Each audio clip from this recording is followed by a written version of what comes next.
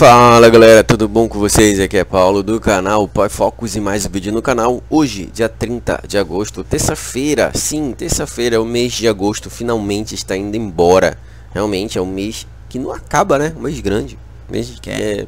a gente fica, pô caramba, o mês não, não vai finalizar Então, fazendo um videozinho aí pra manter o hype do canal Pra não perder a, a nossa meta diária de três vídeos, né?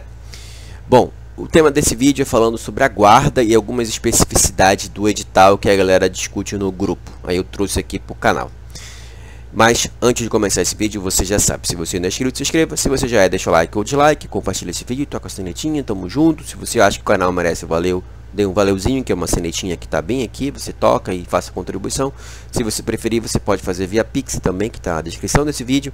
Mas se você não puder nenhuma coisa nem outra, você pode deixar o like ou dislike, comentar, compartilhar e se inscrever. E o principal, você pode não pular as, as propagandas, porque ajuda muito o AdSense, que já ganhamos esse mês o AdSense, tá? E o canal é patrocinado pela plataforma nova, que está com promoção off de 60%, tá ok? Certo. Bom, quais são as coisas que a galera fala no grupo da guarda? O tema é sobre vagas para as mulheres e deficientes. Tá? Vagas para mulheres e deficientes. Mas Paulo, antes de começar isso aí, fala um pouco de ontem. Bom, era para eu ter feito a live com o Gustavo, mas aconteceu um BO comigo. Eu estava no supermercado, quando eu saí do supermercado, o pneu do carro furou. E aí eu tive que trocar o pneu, que demora pra caramba. Depois ir no borracheiro, meu telefone descarregou. E aí quando eu cheguei na minha casa, já era quase 11 horas. Ah, aí eu fui descarregar as coisas, depois tomar banho. Aí botei para carregar o telefone. Liguei agora o telefone, agora. E mandei mensagem pro Gustavo.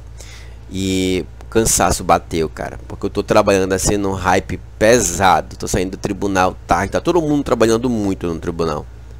Então, enfim, né? Mas não é desculpa. Foi um vacilo meu. Desculpa. Eh, desculpa aí o Gustavo. Eu mandei áudio aqui para ele. Esperar aí a nova agenda. Como ele vai trabalhar hoje, né? Que ele deve estar de plantão. Então só amanhã que a gente pode fazer uma live falando sobre o, a guarda como um todo, tá? E se vocês tiverem dúvidas, mandem aqui nesse vídeo que a gente responde lá na live. Então essa live provavelmente vai ser amanhã. Hoje não tem live, porque deve estar trabalhando.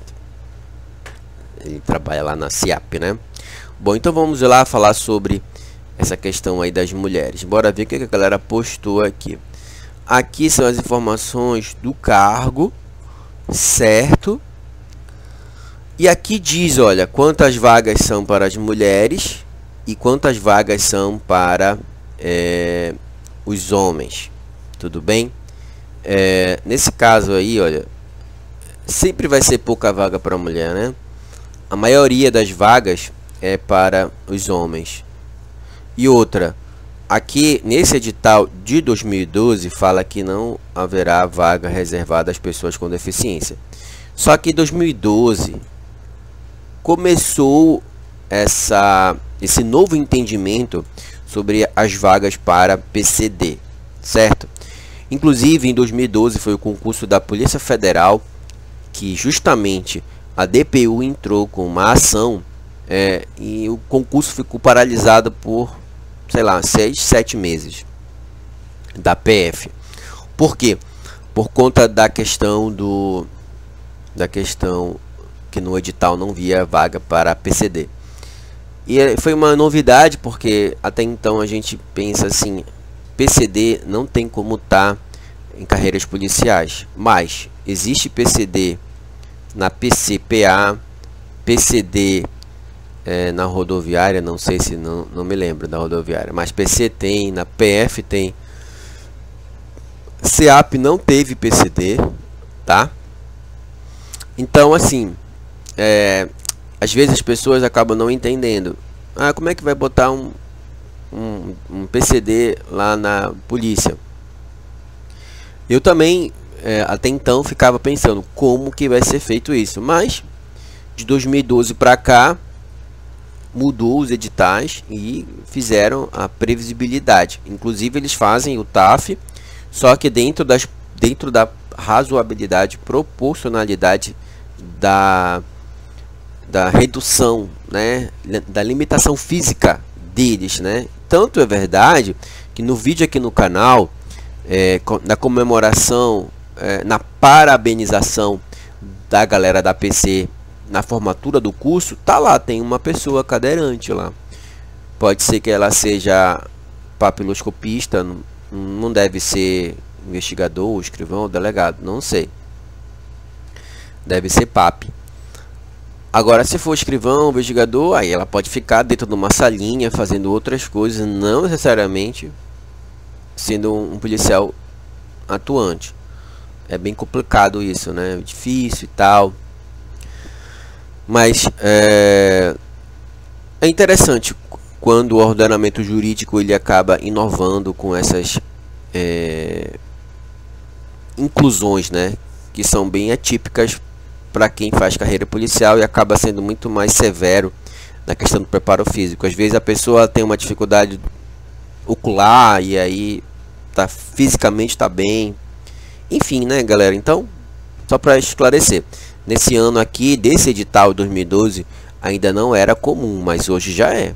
Se você entrar na PC, tem lá para na na PF, é, na Polícia Civil do Pará, enfim, tá certo?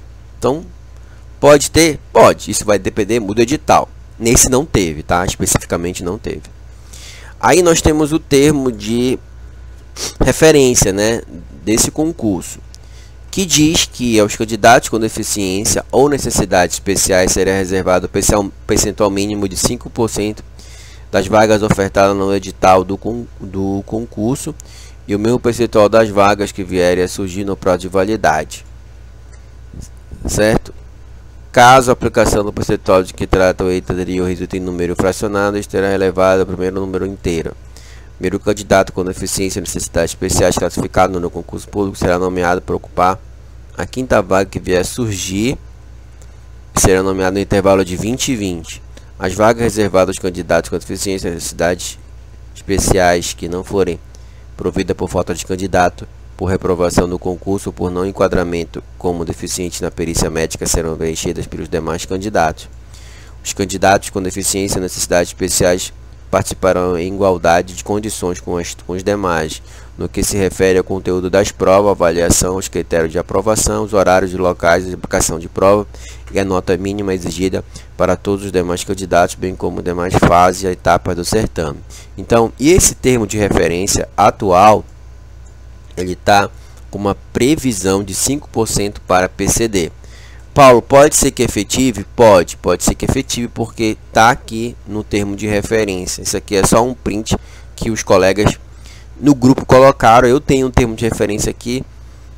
É, deixa eu mostrar também o termo de referência. Olha aqui, olha.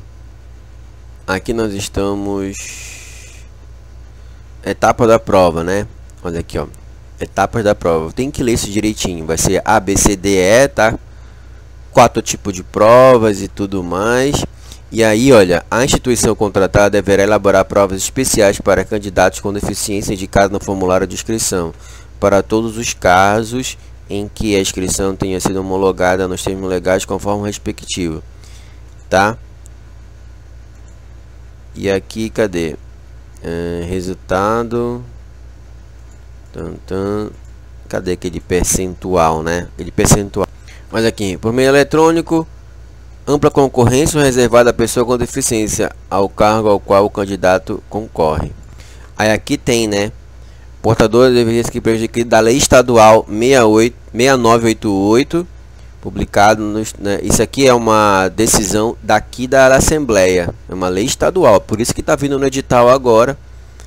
E é de 2007, então está sendo cumprida por meio do edital né, quando vier o edital, porque no termo de referência tá. Ó, a inscrição do candidato deficiência aos mesmos procedimentos escritos no item anterior. Isso está no termo de referência. Pronto, e é aqui que fala, né? Bora ver aqui, ó. Da inscrição, olha, 60. Olha, eles estão com uma estimativa de 40 mil inscritos, né? Eles estão achando, mas vai passar isso, com certeza. Aqui ó, os candidatos deficiência apesar de ser percentual mínimo de 5% e assim vai os critérios e tal. Certo, galerinha? Tá no termo de referência aqui na página 20. Esse aqui é o termo de referência agora, né, desse como é que vai vir o edital. É esse é o termo. Certo? Certo. Boa. Beleza, tô aonde? Tô aqui. Aí a galera no, aí a galera. A lei que rege a, a guarda não prevê vagas para deficiente. É, RJU fala que os cargos de prefeitura terão até 20 das vagas reservadas para deficiente. Ó, aí que acontece? A pessoa acredita que pelo fato de não ter na lei orgânica não pode ser cobrado. Só que quando a pessoa fala isso, ela esquece que o nosso a, a as, no, as nossas com, nossos comportamentos eles são norteados pela pelo arcabouço jurídico, né? pelo ordenamento jurídico como um todo. Quando nós temos uma lei que diz que determinado percentual de vagas deve ser reservado para PCD, mesmo que a lei orgânica do cargo não preveja, vai ter que ser vai ser obrigatória a previsão, sob pena de alguma instituição ou uma ONG entrar com uma impugnação do edital pela falta de previsão. Entenderam? Na verdade, vocês entendem, né? Quem estuda para concurso não, não tem como não entender o que significa hermenêutica, não tem como não entender o que significa o ordenamento jurídico e o princípio da legalidade, ou seja, a administração pública ela só pode fazer aquilo que está na lei. Se a lei diz, tipo aquela lei lá 6988, que é uma lei estadual aqui do Pará, de 2007, que tem que ter previsibilidade de vagas para PCD, mesmo sendo carreira policial? Se discute? Não, não se discute. Se cumpre, é o que está na lei. Então, eu acho que nesse comentário faltou um pouco de ponderação nesse sentido aí, tá? Bora ver outro. Aí ele falou que no último foi 40 mulheres, beleza, verdade. Não haverá vagas, ó, Aí lembra que eu falei no começo do vídeo, a galera não entende o, o contexto histórico desse ano, tá? E assim vai sucessivamente. Eu expliquei isso lá. Ah, não tem edital, tem aí a galera aqui, enfim, infelizmente, uh, um grupo de concurso, eh, tu nunca vai encontrar um grupo coeso, porque poucas pessoas são assim dedicadas 100%. Porque a maioria realmente é só número. São 40 mil, vão ser 80 mil inscritos, são 600 vagas. Cara, desses 80 mil, joga na lata do lixo uns 70 mil. 10 mil realmente vão disputar vaga a vaga. E só vão para as outras etapas 1.200. Ou seja, se for 100 mil inscritos, só 1.200 vai continuar. Infelizmente a galera não entende muita coisa e até tira sarro das outras, mas enfim, faz parte do show, né? Uh, você já viu algum deficiente fazendo policiamento? Ó, oh, você tá vendo aqui o nível de desconhecimento, né? Dizendo que um deficiente, um deficiente vai fazer o policiamento ostensivo. Ou seja, na cabeça dessa pessoa, ela acredita que a polícia ela só é na rua. Ela não tem burocracia, ela não, ela não tem é, pessoas que tem que fazer licitação, pessoas que tem que trabalhar no RH, fazer planejamento.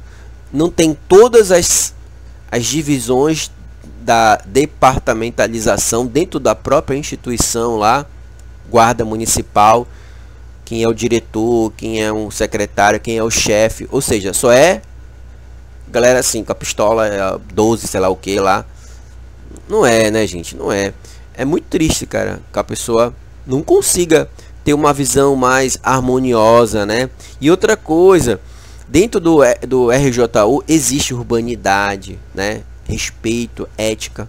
E quando a pessoa, mesmo ainda não sendo, mas querendo ser, ela já tem que começar a entender seu comportamento como algo mais urbano, respeitando a opinião contrária, não sendo às vezes um tanto quanto grosseiro, né? É, como eles vão fazer o curso, viu? Não, não entende, não entende. Não digo o curso, meu teste. Ó, tá vendo? Não vou nem ler mais isso aqui, porque realmente está fora da órbita. Acordei hoje pela manhã, ver a mensagem, sinceramente não tinha nada com nada.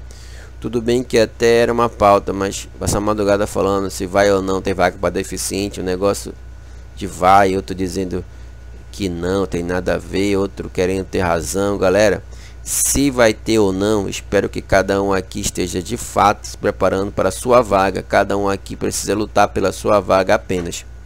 Esse comentário no grupo lá eu gostei, trouxe aqui e acaba corroborando com essa ideia, né?